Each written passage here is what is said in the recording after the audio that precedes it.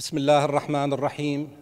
الجلسة الاعتيادية رقم 33 لمجلس الوزراء الثلاثاء 15 آب عام 2023 قرار صادق مجلس الوزراء على الوجبة الثانية الخاصة بتقييم المديرين العامين في الوزارات والجهات غير المرتبطة بوزارة وبلغ عدد المدراء الذين شملوا بالإجراءات ستة وسبعين مديرا باعتماد المعايير والآليات المعدة من اللجنة المؤلفة بموجب الأمر الديواني 23059 لتقييم المدراء العامين حيث جاءت التقييمات كالآتي واحد ثلاث مدراء عامين أصالة نقل بدرجة أدنى أو إحالة على التقاعد حسب قرار 880 لسنة 1988 اثنين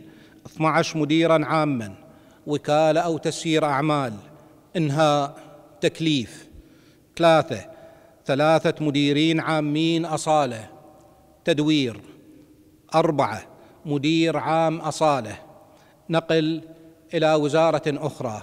خمسة سبعة وخمسين مدير عام أصالة ووكالة إعادة تقييم بعد ستة أشهر. وبهذا يكون مجموع المديرين العامين الذين تم تقييمهم في الوجبتين الأولى والثانية أربعمية واثنين وأربعين مديرا عاما.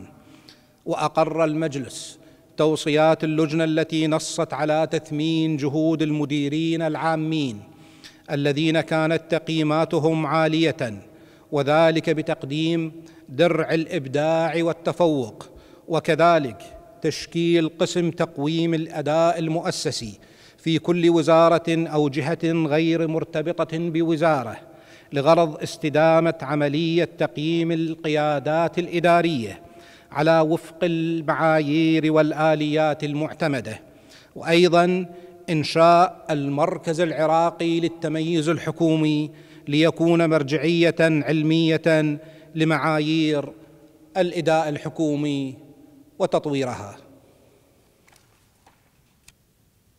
قرار الموافقة على الأفكار والمقترحات التي تقدم بها الشباب إلى السيد رئيس مجلس الوزراء في المؤتمر الوطني لحوار الشباب الذي عقد في بغداد وتمت مناقشتها في الجلسة الاستثنائية التي عقدها مجلس الوزراء يوم السبت الماضي بمناسبة يوم الشباب العالمي الخاص بعدد من القضايا الشبابية التي من شأنها دعم وإسناد الشباب وتمكينهم من القيام بدورهم في البلد.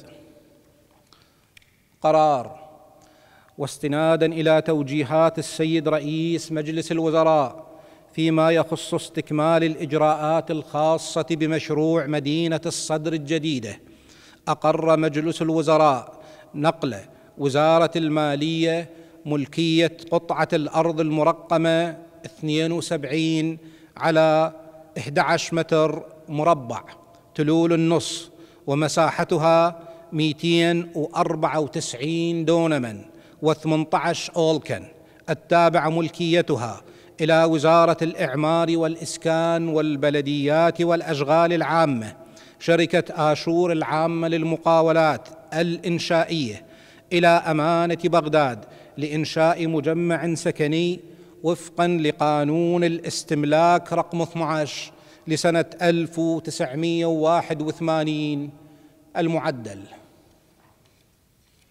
قرار تعديل قرار مجلس الوزراء المرقم 23437 لسنة 2023 بشأن سمات الدخول لزوار الزيارة الأربعينية بحسب الآتي.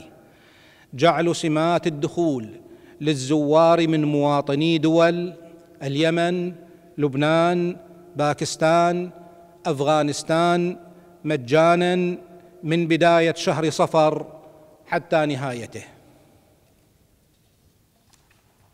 أيضا إقرار توصيات لجنة الأمر الديواني المرقم 23542 لسنة 2023 بشأن مراجعة مشروع وزارة التربية.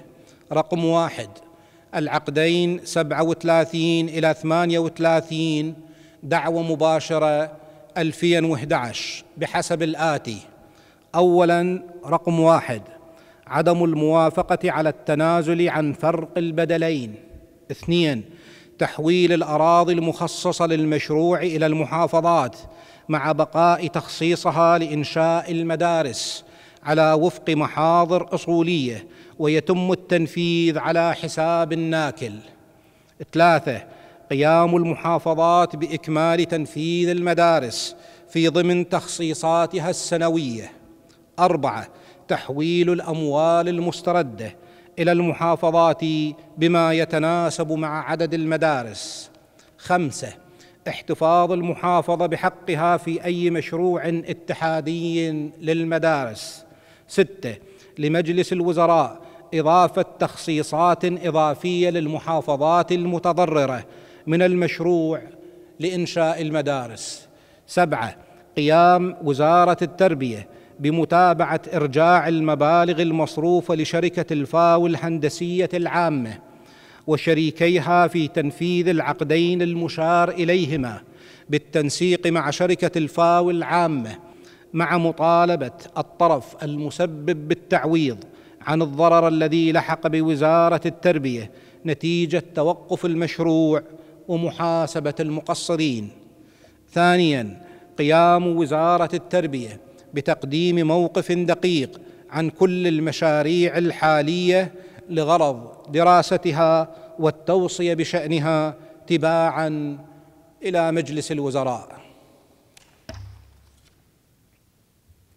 قرار إقرار توصيات اللجنة المؤلفة بموجب الفقرة اثنين من قرار مجلس الوزراء 236 لسنة 2022 بحسب الآتي.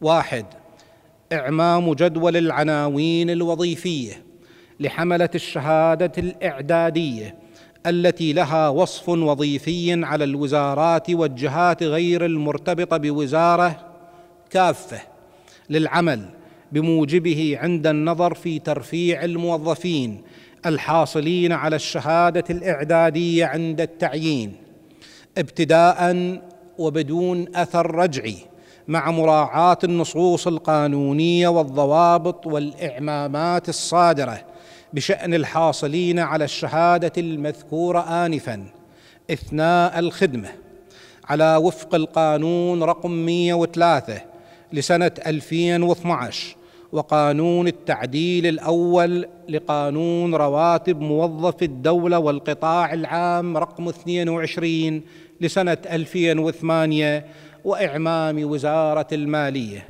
اثنين إعداد الوزارات والجهات غير المرتبطة بوزارة كافة وصفا وظيفيا للوظائف ذات العناوين التي ليس لها وصف وظيفي بالتنسيق مع الجهات ذات العلاقة ثلاثة. تعديل الفقرة واحد. من قرار مجلس الوزراء المذكور انفا لتصبح كالآتي. إطلاق ترفيع حملة الشهادة الإعدادية أو ما يعادلها وصولا إلى الدرجة الثالثة. على أن لا يترتب على ذلك استحداث عناوين وظيفية جديدة. وفي هذا الصدد وجه السيد رئيس مجلس الوزراء الجهات المتخصصة بإعداد مشروع قانون لتعديل قانون الملاك رقم 25 لسنة 1960 وذلك لاستيعاب العناوين الوظيفية بما فيها عناوين ذوي المهن الطبية والصحية. قرار وتلبية لحاجات العوائل النازحة والعائدة من النزوح والتخفيف عن كاهلها قرر مجلس الوزراء استثناء وزارة الهجره والمهجرين من أساليب التعاقد المنصوص عليها في تعليمات تنفيذ العقود الحكومية رقم اثنين لسنة 2014 والقسم الثالث نفقات المادة سبعة من تعليمات تسهيل تنفيذ قانون الموازنة العامة الاتحادية للسنوات المالية 2023 و24 و25 استنادا إلى أحكام المادة 34 من تعليمات تسهيل تنفيذ قانون الموازنة المذكورة انفا إلى نهاية السنة الحالية في 31 كانون الأول 2023 قرار.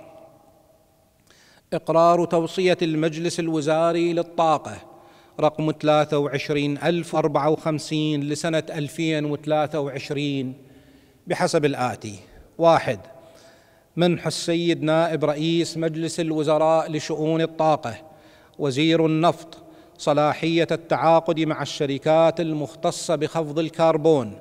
وعده عرضا وحيدا استثناء من أساليب التعاقد المنصوص عليها في تعليمات تنفيذ العقود الحكومية. رقم اثنين لسنة 2014 بعد أن يدرس العرض دراسة تفصيلية من اللجنة المركزية للمراجعة والمصادقة على الإحالة في وزارة النفط أو اللجنة الفرعية في الشركات النفطية أو كليهما. وتخويل تلك اللجان بإجراءات التفاوض الفني والتجاري لتحقيق أعلى مصلحة مرجاه وتضمين العقود فقرات التدريب لملاكات وزارتي النفط والبيئة على العمل بتشريعات واقتصاديات سندات الكربون. ويخول السيد وزير النفط صلاحية إقرار آليات عمل تكون ضرورية لسير العمل في إجراءات التفاوض والتعاقد وتسويق سندات الكربون وأي إجراءات أخرى. اثنين تخويل السيد وزير البيئة توقيع رسالة خطاب البدء LOI بحسب السياق العالمي بعد دراسة العروض من وزارة النفط وإقرارها. ثلاثة تؤول عائدات خفض الكربون إلى حساب تديره شركة تسويق النفط العراقية سومو أو إلى أي سلطة وطنية معنية تشرع فيما بعد ويعد إيرادا لخزينة الدولة. أربعة إعطاء الأولوية لمشاريع استثمار الغاز المصاحب ومشاريع الطاقة النظيفة الشمسية والرياح مع الأخذ بعين الاهتمام رأي الدائرة القانونية في الأمانة العامة لمجلس الوزراء. قرار قيام الجهات الحكومية كافة التي تستفيد من الخدمات الصحية المقدمة من هيئة الضمان الصحي باستقطاع مبالغ الاشتراكات من منسوبيها بشكل مباشر. وإيداعها في حساب الهيئة المذكورة انفا المفتوح لدى المصرف العراقي للتجارة على وفق القانون وقرار المحكمة الاتحادية العليا. قرار الموافقة على منح مكافأة مالية لموظفي الدولة والخريجين والطلبة العاملين يوما واحدا بصفة موظف اقتراع لتأمين إجراء انتخابات مجالس المحافظات في 18 كانون الأول 2023 وتصرف لهم بحسب الآتي. واحد 150 ألف دينار للموظف في دوائر الدولة مع كتاب شكر وتقدير من مكتب رئيس مجلس الوزراء. اثنين 250 ألف دينار للفئات الأخرى. قرار إقرار الاستراتيجية الوطنية وخطة العمل للحد من التلوث البيئي في العراق 2023 إلى 2030 واعتمادها خارطة طريق لوضع الخطط والبرامج السنوية والخطة الخمسية والكلف المالية المطلوبة في إعداد الموازنة السنوية للوزارات وفقا لما جاء فيها من برامج ضمن خطة العمل وللمديات الزمنية المحددة بعد أن تتم مناقشتها من قبل وزارتي التخطيط والمالية. قرار تعديل القرار الصادر عن مجلس الوزراء رقم 23319 لسنة 2023 باستثناء مشروع نظام تسجيل المركبات وإصدار إجازات السياقة. من أساليب التعاقد المنصوص عليها في تعليمات تنفيذ العقود الحكومية رقم اثنين لسنة 2014 بحسب طلب وزارة الداخلية وتخويلها بالتعاقد المباشر مع إحدى الشركات الرصينة لتنفيذ المشروع انفا. قرار استثناء هيئة المنافذ الحدودية من أساليب التعاقد المنصوص عليها في المادة ثلاثة من تعليمات تنفيذ العقود الحكومية رقم اثنين لسنة 2014 بشأن شراء أجهزة فحص الحقائب خلال الزيارة الأربعينية. قرار وافق مجلس الوزراء على تخصيص وزارة المالية مبلغا قدره 500 مليون دينار إلى وزارة الثقافة لسد نفقات فعاليات مهرجان الهيئة العامة للمسرح للعام 2024 شكرا.